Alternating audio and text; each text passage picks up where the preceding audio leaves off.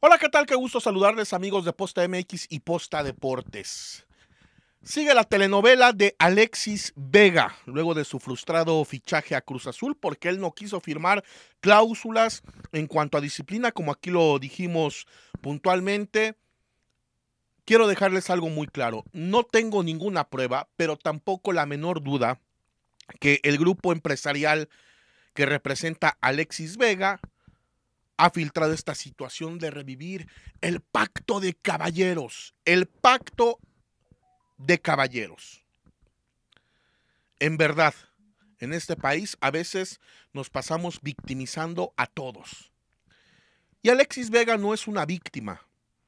Es más, yo aplaudo y saludo la solidaridad que pudiera haber de los equipos del fútbol mexicano desde don Emilio Azcarra Gallán, pasando por Ricardo Salinas, por Alejandro Aragorri, por Jesús Martínez Patiño, y así nos podemos ir con Cemex, con FEMSA, con Alejandra de la Vega, para que se solidaricen con su socio Amauri Vergara, luego de la mala jugada que le ha hecho Alexis Vega. Es libre, que se vaya, que se vaya si lo quiere el Real Madrid, el Inter de Milán, el PSG, el Manchester City, o el Arsenal, o el Boca, o el River, o el Cruzeiro. Es libre de irse en seis meses, pero que no nos vengan con este maniqueísmo de lo bueno y lo malo. Alexis Vega ha cometido muchos errores. Él ha sido víctima de sus propios errores. Pero que no quieran revivir el famoso pacto de caballeros que sí se aplicó durante muchos años y que ahí están muchos jugadores y entrenadores. Pero ojo, no es el caso de Alexis Vega. Alexis Vega pudo haberse ido a Cruz Azul y con una comisión en el traspaso.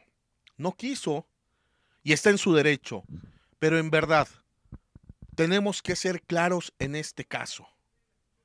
No es una víctima Alexis Vega, no es una víctima del sistema o del el famoso pacto de caballeros. Es un futbolista indisciplinado, sí, es un futbolista que ha cometido errores también y tiene que asumirlos.